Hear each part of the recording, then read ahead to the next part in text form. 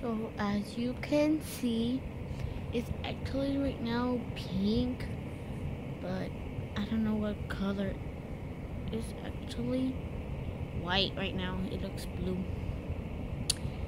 So, okay, I don't really like Princess because we went to Kmart and I couldn't get nothing. Oh, wait. So as I was saying, and we went to Kmart and I could not get a single thing because they were just dolls and my dad says you need to get something. So when I was bored and I just got anything like this, but I never I thought this was a candle at first. It's not.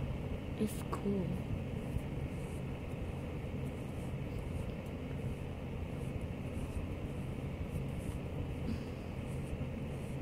I don't like princess. Don't think I like princess because I don't. So, uh, see you later and make sure to click subscribe and follow me on